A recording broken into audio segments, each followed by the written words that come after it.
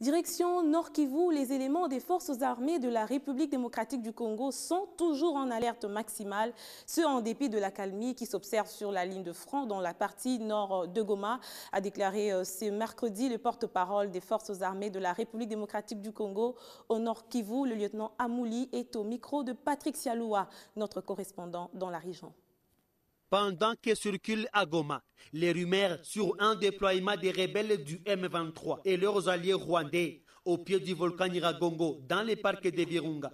L'armée congolaise, à travers son porte-parole au Nord Kivu, le lieutenant-colonel Olivier Amouli, calme le jeu dans un point de presse animé ce mercredi. Pour lui, on ne peut pas se préparer en fonction des rumeurs mais dit-il, les éléments FARDC sont prêts à n'importe quelle éventualité pour défier tout ennemi de la République. Nous, nous sommes des militaires, nous sommes euh, de la force aussi euh, de l'infanterie et nous avons nos tactiques. On ne peut pas déployer nos unités en fonction des rumeurs. Le moment venu, vous verrez comment nous allons défier l'ennemi. Parlant du militaire FARDC qui paix par trois éléments de l'armée rwandaise le dimanche dernier dans la zone neutre entre la RDC et le Rwanda à Goma, puis remis à l'armée congolaise. Mardi, le lieutenant-colonel Olivier Amouli déclare ce qui suit.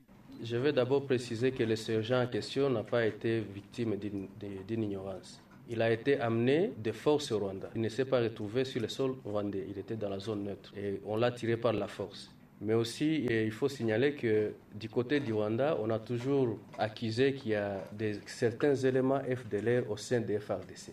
Et c'est ce qui a fait à ce qu'on puisse d'abord l'interroger, toutes les questions tournées autour de la présidence des FDLR au sein des FARDC. Nous avons toujours signalé qu'on n'a jamais eu des FDLR au sein des Nord. Ce sont des Rwandais, ils doivent rentrer chez eux. Il arrive aussi des moments où on retrouve des militaires RDF chez nous et tout simplement on les remet à, un commandant qui est sur place là-bas. Et on n'en fait pas bruit. Donc le Rwanda a voulu tout simplement chercher un prétexte. Sur la question de savoir s'il y a un cessez-le-feu, du fait qu'il n'y a pas d'affrontement entre les M23 et les FARDC du côté de Kibumba, Olivier Amouli joue à la prudence. Qu'il s'agisse d'un cessez-le-feu ou d'une trêve, cela dénote qu'il y a un certain accord. Donc on ne parle que d'un cessez-le-feu que sur base d'un accord ou d'une trêve. Moi je peux dire qu'il y a tout simplement une accalmie de fait.